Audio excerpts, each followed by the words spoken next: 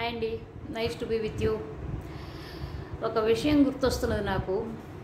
ఈ రఘురామకృష్ణరాజు గారు ఇవి ఈ ఉదంతం ఇదంతా చూస్తుంటే ఒక విషయం గుర్తొస్తున్నది. ఈ పైరవీకారులు ఉంటారు చూడండి. పైరవీలు చేస్తూ ఉంటారు.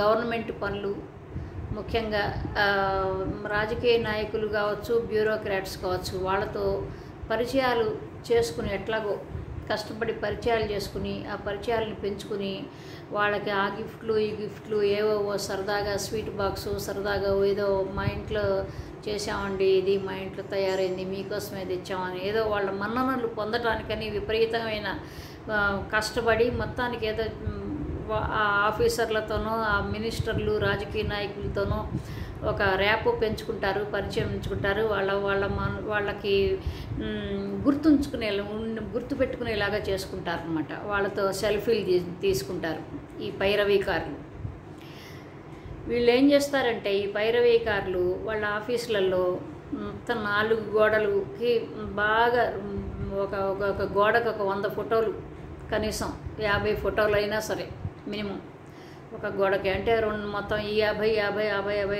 రెండు వందలు రెండు వందల నుంచి మూడు వందలు ఫోటోలు దాకా ఉంటాయన్నమాట. పెద్ద పెద్ద రాజకీయ నాయకులు వాళ్ళు వీళ్ళు అని లేదు అసలు. సంఘంలో పేరు ప్రతిష్టలు ఉన్న వాళ్ళు సినిమా వాళ్ళతోనూ మొత్తానికి మా మొత్తానికి ఏదో పాటు పడతారు. సో అది సంగతి. ఎందుకు ఇట్లాగే మన రఘురామకృష్ణరాజు గారు ఏదో కోతి కొబ్బరికాయ దొరికినట్టుగా ఆయనకు ఏ ఎంపీ పదవి ఒకటి దొరికింది.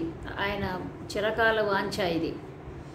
ఏదో జగన్మోహన్ రెడ్డి గారి పుణ్యం అంటూ ఏదో మొత్తానికి జరిగింది అదృష్టం. కానీ నిలబెట్టుకోవాలి కదా ఆయన. అది నిలబెట్టుకోవటానికి ఆయనకి కుదరటల్లా.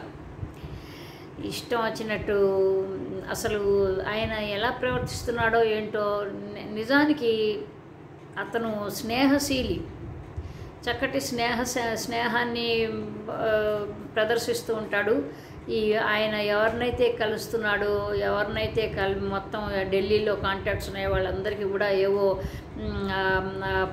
అక్కడ గోదావరి జిల్లాలకు చెందిన పూతరేకులు కాజాలు మడత కాజాలు బూందీ లడ్లు లేకపోతే పూతరేకులో ఏవో మొత్తానికి ఇచ్చి ఇచ్చి మంచి చేసుకుని వాళ్ళకి కొంచెం వాళ్ళతో రేపు పెంచుకోవటానికి ఇవన్నీ ఉపయోగపడుతూ ఉంటాయి. ఎవరికైనా ఇప్పుడు ఎవరైనా అదే చేస్తారు. అందులో స్నేహశీలు కాబట్టి రఘురామ రఘురామరాజు గారు ఆ ట్రిపుల్ ఆర్ ఇంకొంచెం బాగా చక్కగా ఇంకొంచెం సిస్టమేటిక్గా చేసే వ్యక్తి ఆయన. ఓకే? మరీ అంత తీసి ప- పరేయకూడదు కానీ మొత్తం చేస్ చేస్తున్నాడు. ఆయన అనుకున్నది ఏదో సాధించే వ్యక్తి. ఓకేనా? అయితే ఈ ఈ ఆయన దగ్గర ఈ పాపం ఏవో ఈ గిఫ్ట్లో ఏవో అవి ఇవి తీసుకున్న ఫ్రెండ్స్ అందరు కూడాను ఆయన పట్ల అభిమానాన్ని చూపిస్తాము రాకపోకలు అవన్నీ ఏవో జరిగిపోతూ ఉంటూ ఉంటాయి ఓం బిర్లా గారితో ఇంకొంచెం ఎక్కువ పరిచయం ఉండి ఉంటుంది ఆయనకి. అయితే ఆ రో- ఓం బిర్లా గారితో ఆయన ప్రైవేట్గా ఆయనతో భోజనాలు చేసే అంత పరిచయం ఉన్నది అంత స్నేహం ఉన్నదంటే మనం అర్థం చేసుకోవచ్చు. ఈ పూతరేకులు ఈ మడత కాజాలు ఈ ఈ గోదావరి జిల్లాలకు సంబంధించిన సామాను ఎంత బాగా పనిచేసిందనేది అర్థం చేసుకోవచ్చు మనం. సో ఆ, ఆ పైరవీకారులు ఎంతైతే నిజాయితీగా చేస్తారో చేస్తారు వాళ్ళు. పనులు చేస్తారు బాగానే చేస్తారు. డబ్బులు కూడా అలాగే గుంజుతారు. అట్లాగూ పైరవీకారులాగా ఫోటోలు పెట్టుకుని ఆ అబ్బో అసలు మోదీ గారు భుజం మీద చేసినట్టు ఫోటో ఒకటి మళ్ళీ ఈ ఓం బిర్లా గారితో ఫోటోలు ఒకటి లోక్సభ స్పీకరు అమిత్ షా గారితో మొత్తానికి ఏదో తంటాలు పడి మొత్తానికి ఫోటోలు బాగానే రిలీజ్ చేసుకున్నాడు వాళ్ళతో సెల్ఫీలు చేసుకుని.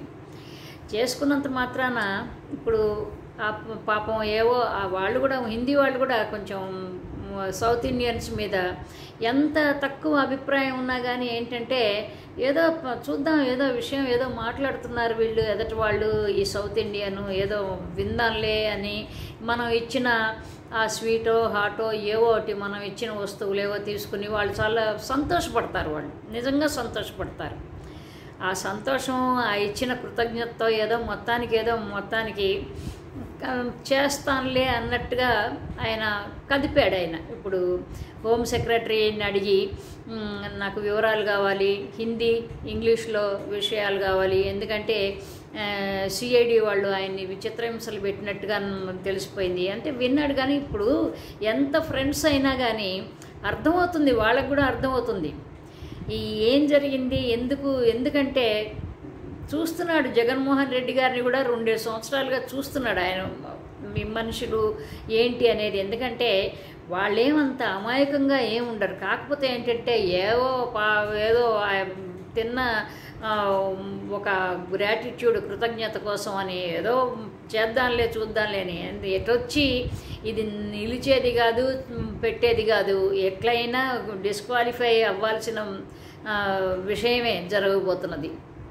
డిస్క్వాలిఫై జరుగుతుంది. చివరికి ఏం జరగాలో బై ఎలక్షన్ వస్తుంది. మొన్న తిరుపతిలో వచ్చినట్టుగా ఇక్కడ బై బై ఎలక్షన్ వస్తుంది. ఎటొచ్చి ఏంటంటే ఈ హడావుడి ఈ మీ ఒక రెండు మీడియాలు మీడియా వాళ్ళు చేసే అల్లరి చాలా అత్యుత్సాహము ఇదంతా చూసి ఏదో చాలా హైప్ వాళ్ళు చేసి సృష్టించే హైప్ చూస్తూ ఏం అనుకుంటున్నారు జనాలు. ఏదో జరగబోతుంది. ఏం జరగదు. ఏం జరగదు. ఎందుకంటే రఘురామకృష్ణరాజు గారుకి జగన్మోహన్ రెడ్డి గారికి ఇద్దరిని గనక వాళ్ళు వాళ్ళు చూస్తే ఎవరి వల్ల ఉపయోగాలు జరుగుతాయి? ఉపయోగం అంటే ఇప్పుడు బిజినెస్. వాళ్ళ బిల్స్ వాళ్ళ లోక్సభలో కానీ లోక్సభలో అంటే వాళ్ళకి మొత్తం ఇదండి. రాజ్యసభలో కూడాను పాస్ అవ్వాలి కదా అవ్వాలంటే మరి జగన్మోహన్ రెడ్డి గారికి మళ్ళీ ఇంకా మొన్న ఇంకా ఇంకా కొన్ని కొన్ని ఎక్కువ ఎక్కువ అవుతా అయ్యే అవకాశాలు ఇంకా మంచి మంచి మంచి రా- రాజ్యసభ మెంబర్స్ రాబోతున్నారు. సో ఇంకా పటిష్టం అయ్యేదే కానీ తక్కువ అయ్యేదేం లేదు. అందుకని సో ఇంకోటి ఏంటంటే ఏ విషయం అన్నా ఎస్ఆర్ సరే సరే అని అని అని అని పోయే రకం మన జగన్మోహన్ రెడ్డి గారు. కాబట్టి జగన్మోహన్ రెడ్డి గారితో ఆయన వాళ్ళకి కష్టాలే ఉంది ప్రాబ్లమే ఉంది. పైగా ముఖ్యంగా మొన్న అమిత్ షా గారిని కలిసినప్పటి నుంచి కలిసి వచ్చినప్పటి నుంచి కూడాను మనం చూస్తున్నాం వాళ్ళల్లో ఏవో కాస్త కాస్త ఒక ఒక అండర్స్టాండింగ్ అంటే జగన్మోహన్ రెడ్డి గారు ఆర్ఆర్ ట్రిపుల్ ఆర్ కోసమే వెళ్ళినట్టుగా కాదు. ఏదో జరిగింది ఒక చిన్న హింట్ ఇచ్చి ఉంటారు ఓకే చూసుకుంటాం అని ఉంటారు. ఏదో జరిగేదో జరుగుతుంది రేపు. ఎందుకంటే ఆల్రెడీ పోయిన సంవత్సరం జూలైలోనే ఇచ్చారు మన డిస్క్వాలిఫై డిస్క్వాలిఫై చేయమని రఘురామ కృష్ణరాజు గారిని. ఇచ్చినప్పుడు ఏంటంటే వాళ్ళు అంతగా పట్టించుకోలే. ఇప్పుడు సీరియస్గా ఉంది వ్యవహారం ఉంది వాళ్ళకే అర్థమైంది. అసలు విషయం కూడా ఇంకా మొండి మొండి మనిషి సీఎం ఇతంతో పెట్టుకుంటే అవదని వాళ్ళకు కూడా తెలుసు. ఎందుకంటే ఎప్పుడైతే సోనియా గాంధీని ఢీగొన్నాడో ఆయన అప్పుడే మొత్తం మొత్తం దేశంలో ఉన్న పొలిటీషియన్స్ అందరికీ అర్థమైపోయింది. సో కాబట్టి ఏంటంటే ఇదంతా ఎంత స్పీకర్ గారితో కూర్చుని భోజనాలు భోజన సహపంక్తిలో కూర్చున్నా లేకపోతే ఎక్కడన్నా కలిసి భోజనాలు చేసిన ఏ హోటల్లో కావచ్చు లేకపోతే ఏ రెస్టారెంట్స్లో కావచ్చు ఏదో ఒక ఈటరీలో కూర్చొని ఎంత చేసినా కానీ జరిగేదేదో జరుగుతుంది. కాకపోతే ఏంటంటే ఏదో ఫ్రెండ్షిప్ ఎక్స్టెండ్ చేశాడు. ఈ రెండు రెండు సంవత్సరాలుగా కాస్త కూస్తో బాగా ఎక్కువ పూసుకుంటానికి ట్రై చేస్తున్నాడు పాపం. ఏదోలే అని చెప్పేసి ఆయన కూడా చూసి చూడనట్టుగా వదిలేసి ఫోన్లే మన వరకు చేసేది. తర్వాత ఏముంది? నా వల్లగా నాకు నాకు నాకు నా నా చేతిలో అయ్యింది. నేను చేశాను అంతవరకు చేశాను. నేను అప్పటికి హోమ్ సెక్రటరీని ఇవన్నీ కలిసి అడిగాను కదా. కానీ పైనుంచి నాకు ఆర్డర్ వచ్చింది. మిమ్మల్ని డిస్ డిస్క్వాలిఫై చేయమని అని అనే అంటారు. అంతే కా- సమయం వచ్చినప్పుడు ఎవరైనా తప్పుకుంటారు? అది ఈ రఘురామకృష్ణరాజు గారు అనే మనిషికి తెలియాలి.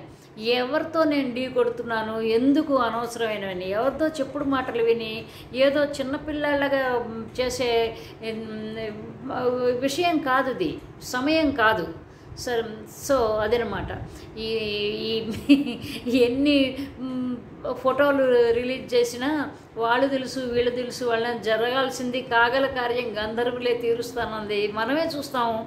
ఆ రోజున నేను కూడా ఇలాగే ఒక వీడియో చేయొచ్చు. ఎందుకంటే సత్యమేవ జయతే అంటారు.